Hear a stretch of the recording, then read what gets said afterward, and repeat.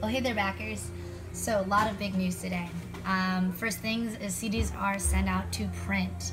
So, they are currently being manufactured, which is great. That's been finalized today here in this cat cafe in Seoul, Korea. Um, the other news is that I have updated the PDF preview that I sent you originally. I realized the track list was one of the old track lists and now we've reassigned it. So please re-download it in the Dropbox link that I'll post here below. And other than that, um, contracts and release forms are in. So we're all finalizing for copyright as well. Thank you so much for your support. Stay tuned for next update.